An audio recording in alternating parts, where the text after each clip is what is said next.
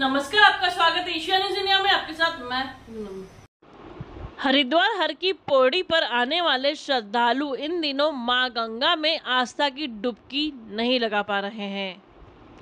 कुछ श्रद्धालु तो बिना स्नान के ही वापस लौट रहे हैं, जिसे श्रद्धालुओं और तीर्थ पुरोहितों में काफ़ी आक्रोश है।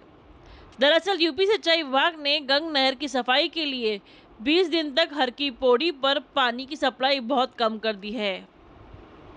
ऐसे में गंगा में आस्था की डुबकी लगाने वाले श्रद्धालुओं को दिक्कतें झेलनी पड़ रही है। पानी की मात्रा बहुत कम होने की वजह से श्रद्धालु ठीक से स्नान नहीं कर पा रहे हैं।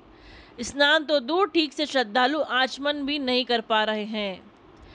इतना ही नहीं, अस्थि विसर्जन में भी दिक्कतें आ रही है। बताया जा रहा है कि स्थिति दिवाली तक रहने वाली है। 20 दिन तक गंग नहर की सफ़ाई और मरम्मत का काम चलेगा। इसलिए यूपी सिंचाई विभाग ने गंग नहर में पानी की सप्लाई बहुत कम कर दी है। उधर दूर दराज से आने वाले श्रद्धालुओं का कहना है कि उन्हें इस बात की जानकारी नहीं थी कि गंगा नदी में पानी नहीं है। ऐसी स्थिति में श्रद्धालु काफ़ी परेशान और मायूस भी है, क्योंकि दूर दराज से बड़ी संख्या में हरिद्वार श्रद्धालु माँ गंगा में आस्था की डुबकी लगाने आते हैं।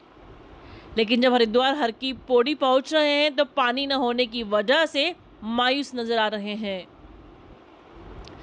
उधर तीर्थ पुरोहितों ने यूपी सिंचाई विभाग से हर की पेड़ी गंगा नदी में पानी की मात्रा बढ़ाने की मांग रखी है। उनका कहना है कि उत्तर प्रदेश सिंचाई विभाग के अधिकारियों से इस संबंध में बात की गई है। और यदि उन्होंने पानी की मात्रा नहीं बढ़ाई तो तीर्थ पुरोहितों को आगे की रणनीति पर विचार करना होगा।